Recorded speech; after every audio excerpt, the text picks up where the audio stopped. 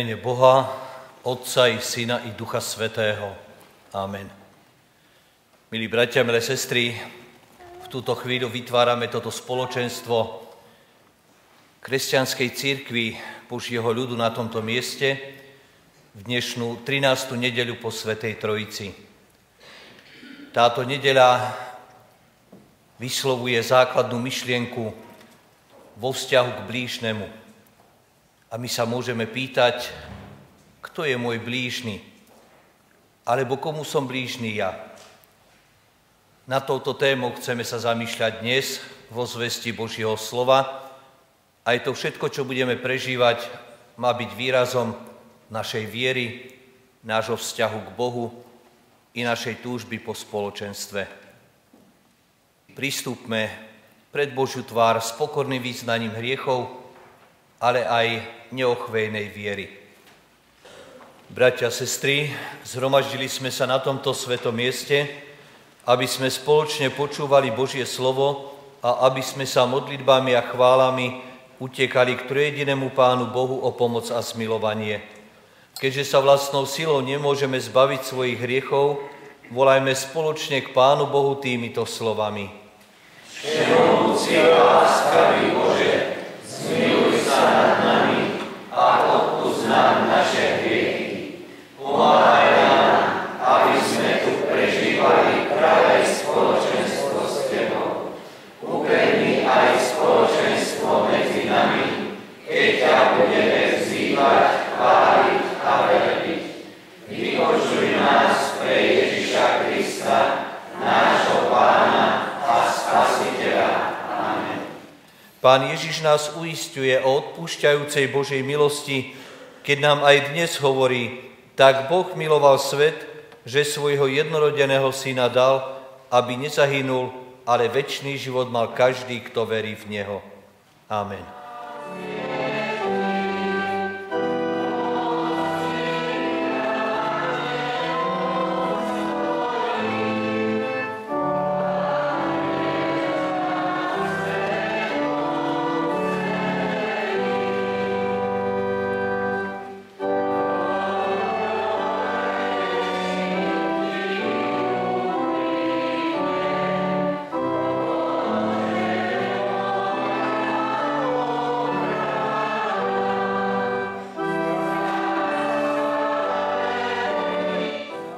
Počujme slova epištolického textu z listu rímským z 12. kapitoly. Láska nech je bez pokritectva, zošklivujte si zlé, pridržajte sa dobrého. Naklonení v bratskej láske, predbiehajte sa navzájom v úctivosti, nebuďte leniví v horlivosti, duchom vrúcni, slúžte pánovi.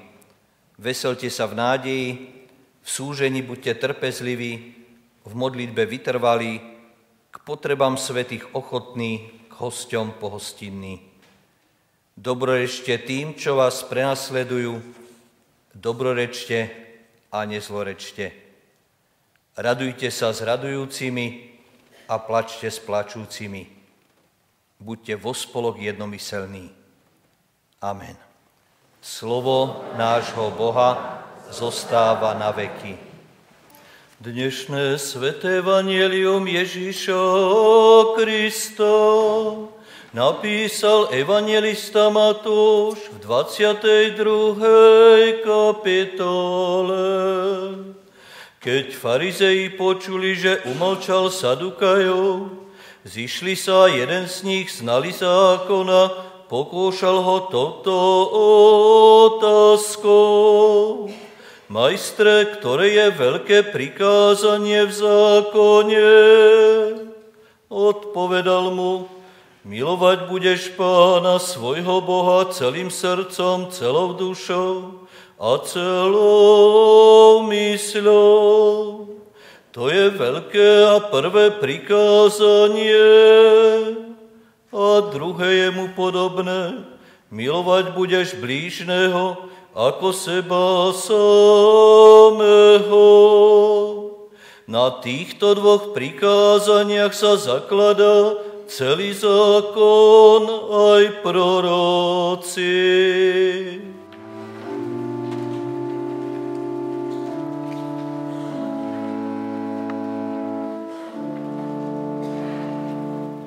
Blahoslavený každý, kto sa bojí hospodina a v jeho príkazoch má veľkú záľubu.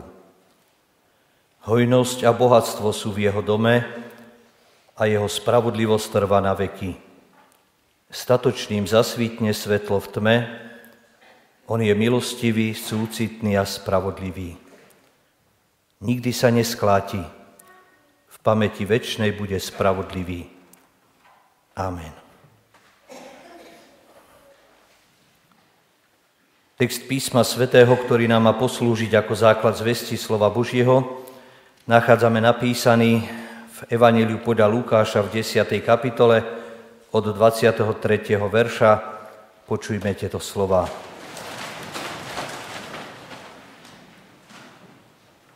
A hľa vstal zákonník a aby ho pokúšal, povedal, majstre, čo konať, aby som dedične obdržal väčší život?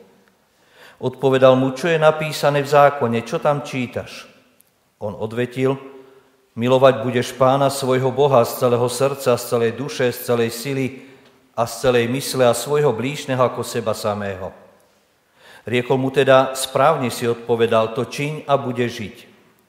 Ale on sa chcel ospravedlniť a spýtal sa Ježiša, a kto mi je blížny? Ježiš znovu riekol, išiel jeden človek z Jeruzalema dolu do Jericha a padol otrom do rúk. Tí ho ozbíjali, doráňali, zanechali polomrtvého a odišli. Náhodou vyšiel touto cestou kňaz a keď ho videl, obišiel ho. Podobne i Levíta, keď prišiel na to miesto a videl ho, obišiel ho. Prišiel však k nemu pocestný Samaritán a vidiac ho, zľutoval sa nad ním, pristúpil k nemu, obviazal mu rany, nalial do nich olej a víno, vyložil ho na svoje hoviatko, zaniesol do hostinca a opatroval ho. Potom na druhý deň vybral dva denáre, dal hostinskému a povedal, opatruj ho a ak by si viac vynaložil na neho, zaplatím ti, až sa vrátim. Čo myslíš, kto z tých troch bol blížny tomu, ktorý padol otrom do rúk? A on odpovedal, ten, čo mu preukázal milosrdenstvo. Ježiš mu povedal, choď a rob podobne. Amen.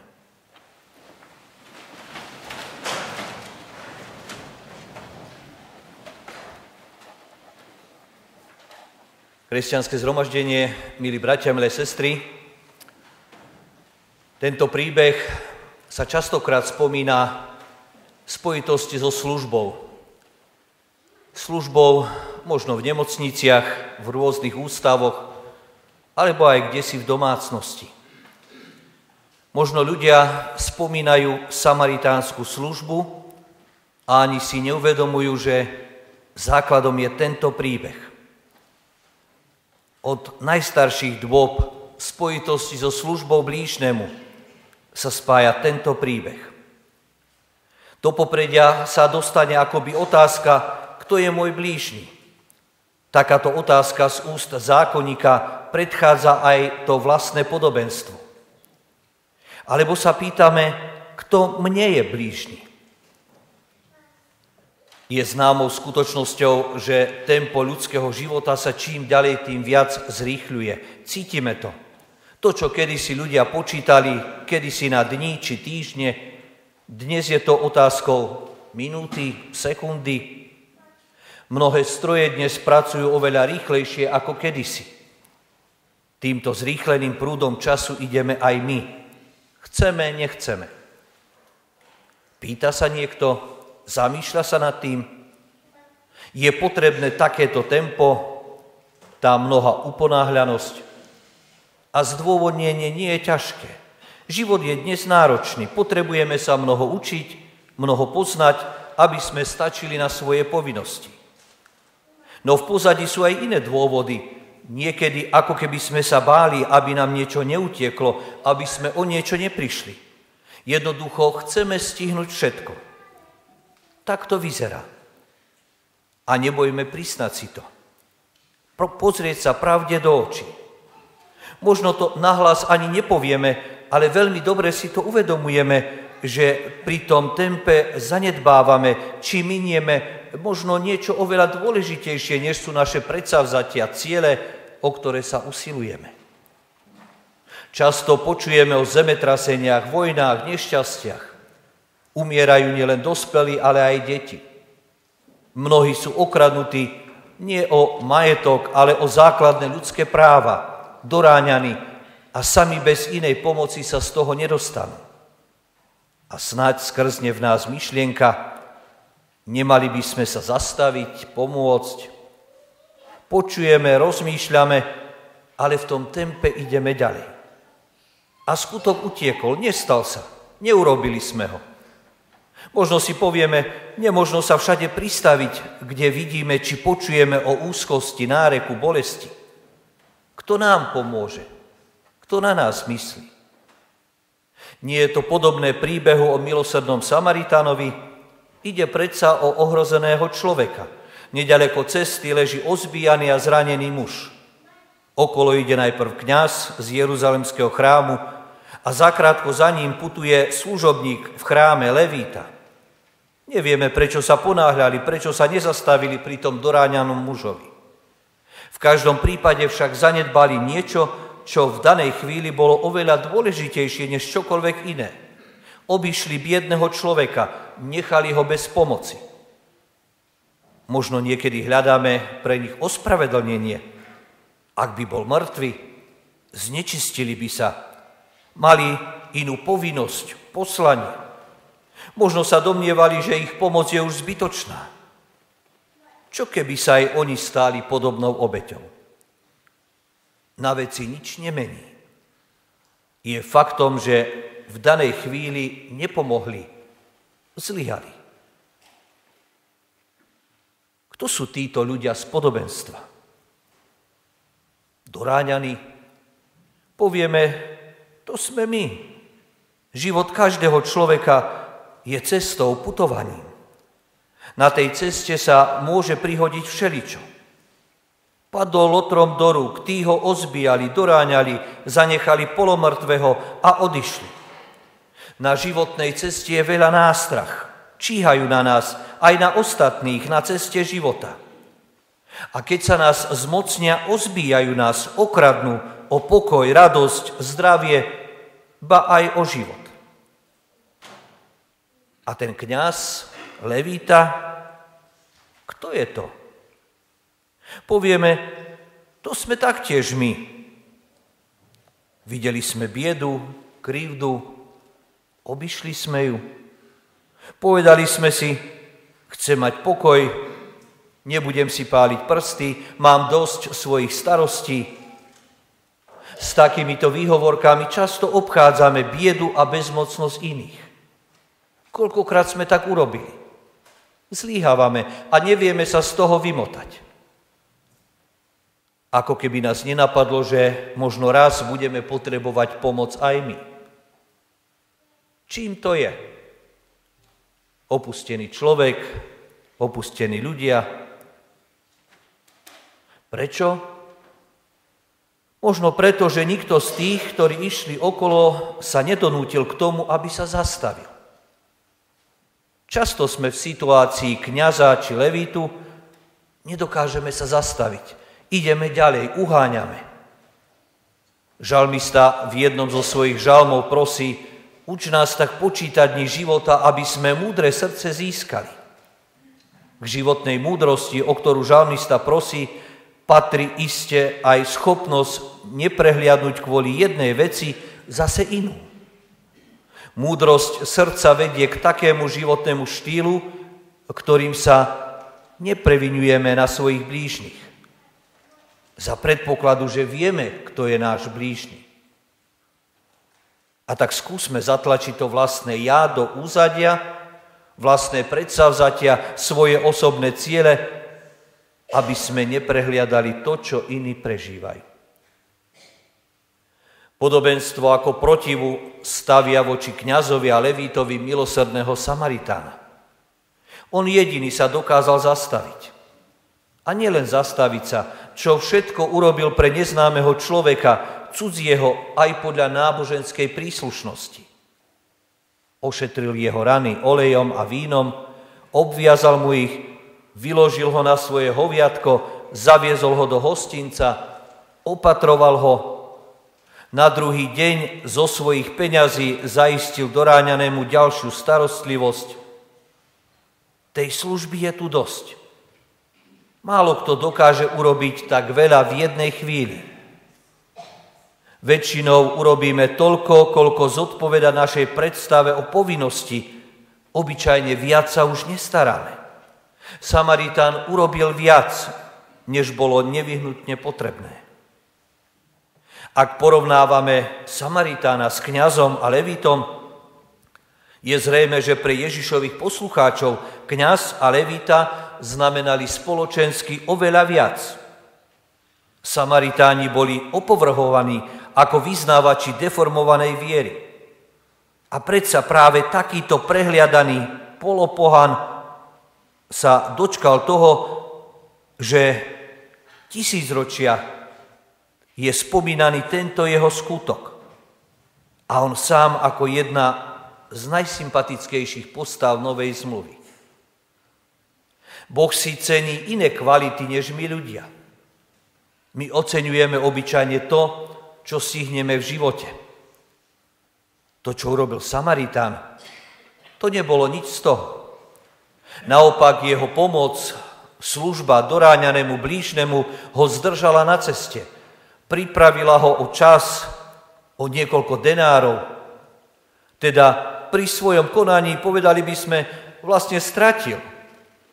Ale nemyslím si, že sa stiažoval, že v tom videl nejaké mínus pre seba. U Boha je oveľa cenejšie konanie, v ktorom človek pre druhých niečo stratí, niečo obetuje, než také, v ktorom ide len o osobné záujmy, ciele a nič a nikto ma nezaujíma. Pán Ježiš viackrát povedal, že keď aj o niečo prichádzame, opúšťame, strácame, mnohonásobne získame.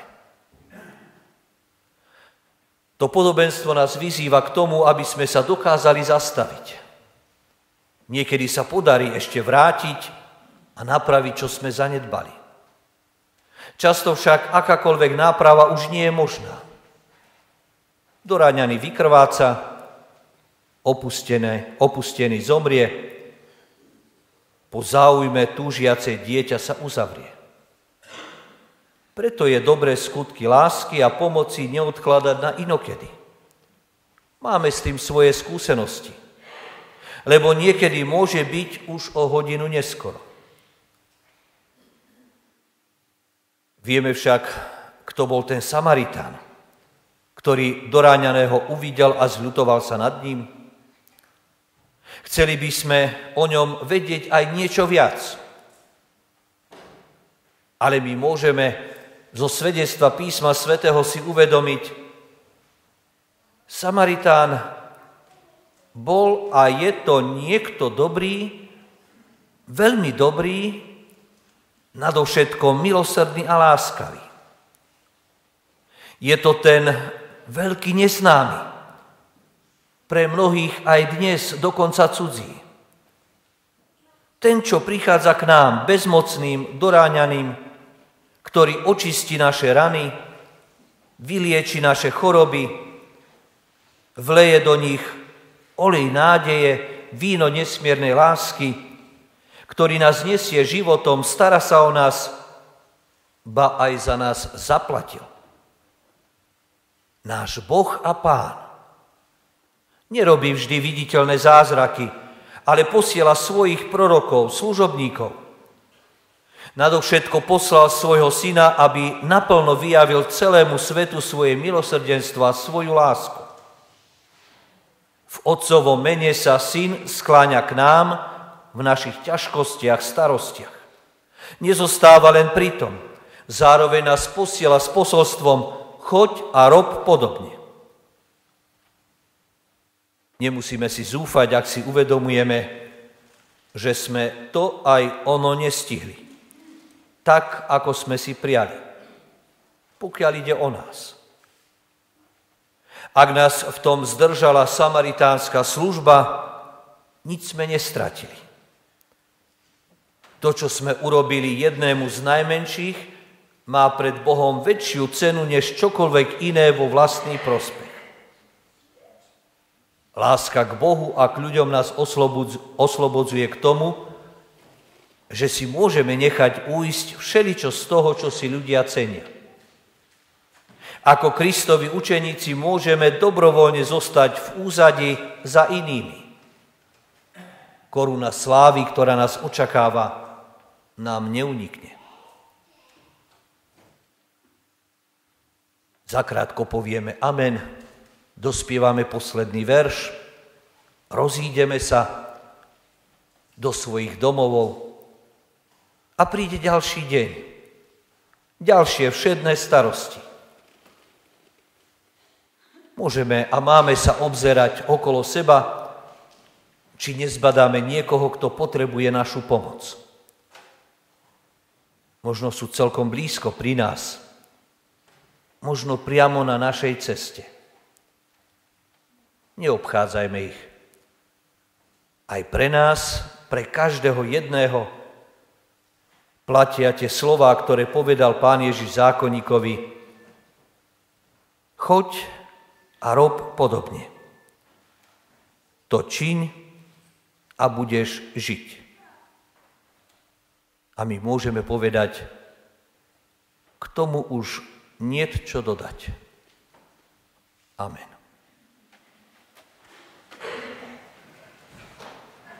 Pomodlíme sa.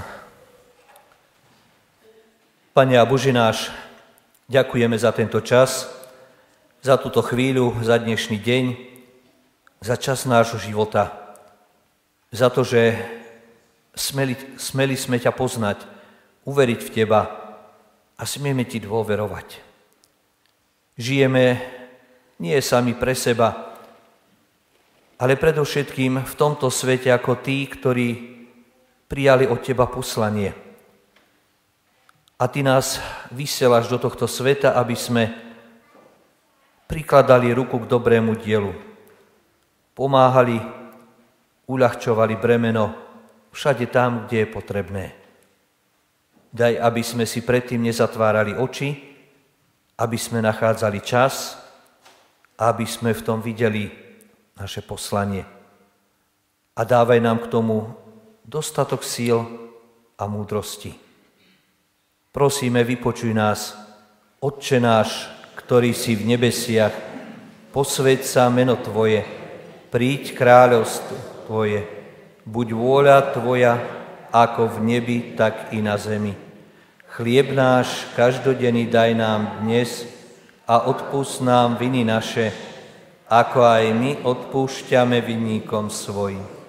I neuvoď nás do pokušenia, ale zbav nás zlého, lebo Tvoje je kráľovstvo, i moc, i sláva na veky. Amen. Sláva Bohu, Otcu, i Synu, i Duchu Svetému, ako bola na počiatku, i teraz, i vždycky, i na veky vekov. Amen. Príjmite požehnanie.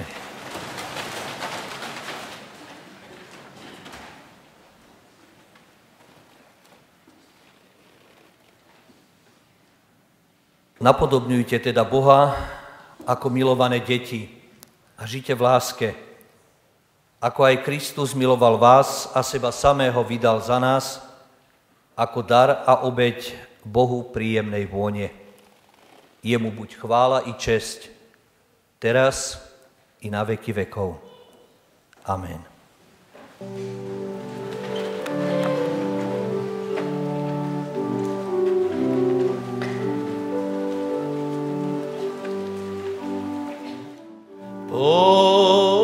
Pán Boh, požehnaj a ochraňuj vás. rozjasní svoj tvár nad vami a buď vám milostivý. Pán Boh, obráť k vám svoj obličaj a daj vám svoj časný i večný.